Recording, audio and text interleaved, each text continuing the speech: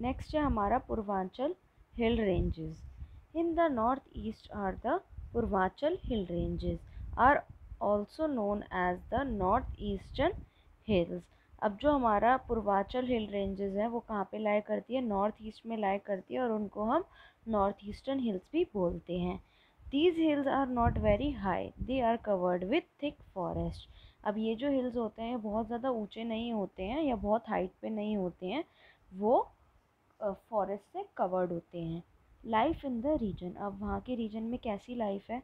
The Purvanchal hill ranges include the northeastern states, namely the eastern part of, part of Arunachal Pradesh, Nagaland, Manipur Mizoram Tripura and Meghalaya अब जो Purvanchal hill ranges है उसके अंदर हमारी north eastern state आती हैं जैसे कि eastern part of Arunachal Pradesh आता है। Nagaland, Manipur, Mizoram, Tripura and Meghalaya. Farming and weaving are the main occupation of the people living here. अब वहाँ के लोगों की मेन ऑक्यूपेशन क्या है? फ़ार्मिंग खेती बाड़ी वीविंग यानी कि चीज़ों को बुनना, कपड़े बुनना। They grow rice maize potatoes ginger pulses and oil seed अब वो क्या क्या ग्रो करते हैं?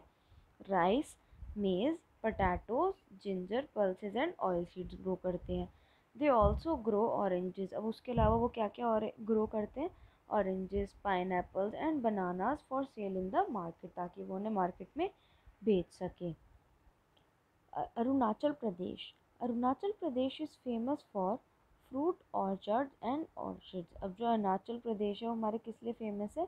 फ्रूट्स फ्रूट ऑर्चर्ड्स के लिए फ़ेमस है और ऑर्चिड्स जो फ्लावर होता है, उसके लिए फ़ेमस है।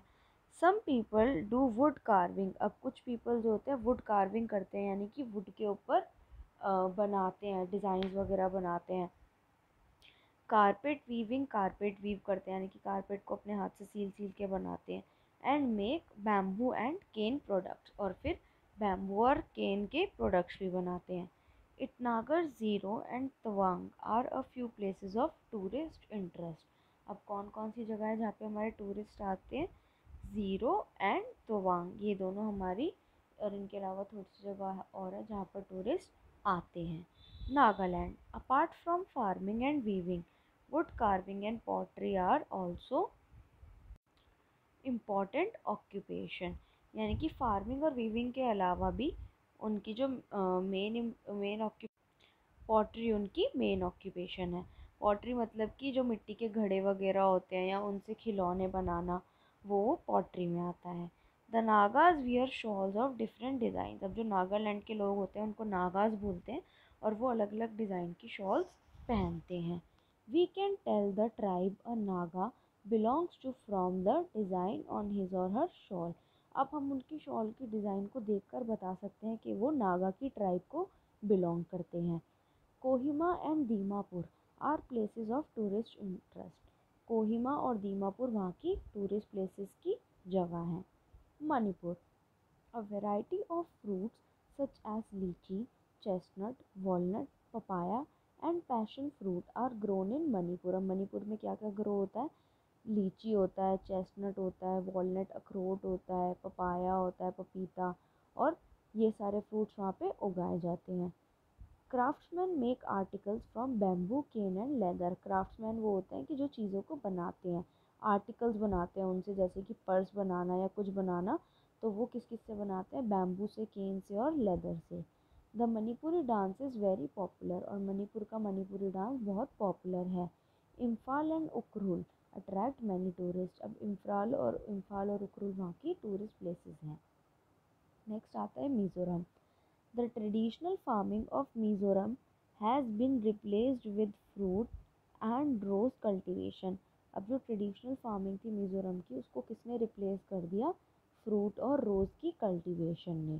Some people make silk from silk worms अब कुछ लोग जो होते हैं सिल्क बनाते हैं सिल्क वॉर्म में से। Chapkar sorry Chapchar Kut is an important festival celebrated in March. अब वहाँ का जो इम्पोर्टेंट फेस्टिवल है वो कौन सा है? छपचार कुट, जिसको वहाँ के लोग मनाते हैं। नेक्स्ट आता है Tripura. Jute, rubber and bamboo are grown in Tripura. अब जैसे जूट हो गया, रबड़ हो गया, बैम्बू हो गया, ये हमारे त्रिपुरा में ग्रो किए जाते हैं। Bamboo is use to make handicraft bamboo वहाँ के हैंडीक्राफ्ट यानी कि हाथ से बनी हुई चीज़ों में काम आता है। People mostly speak Bangla and Kokborok अब वहाँ के लोग ज़्यादातर कौन सी लैंग्वेज बोलते हैं? बांग्ला और Kokborok Agartala and Unakoti attract tourist through the air अब जो अगरतला और उनाकोती है, वहाँ पे बहुत सारे लोग आते हैं विज़िट करने के लिए। नेक्स्ट आता है Meghalaya. People of this state belong to the Garo Khasi and Jaintia tribes अब यहाँ के लोग कहाँ पे बिलोंग करते हैं? हमारा गारो खासी एंड जैंतिया ट्राइब्स के लिए। Khasi and Garo are widely spoken languages Khasi and Garo वहाँ की सबसे ज़्यादा बोलने वाली लैंग्वेज है। The strawberry festival is a big tourist attraction अब जो स्ट्रॉबेरी फेस्टिवल है वहाँ का, वो टूरिस्ट के लिए बहुत बड़ी अट्रैक्शन है। Shillong and Cherrapunji are popular place to visit अब शिलोंग और चेरा चेरापूंजी वहाँ की पॉपुलर प्लेसेस है जहाँ पे लोग विज़िट करने आते हैं।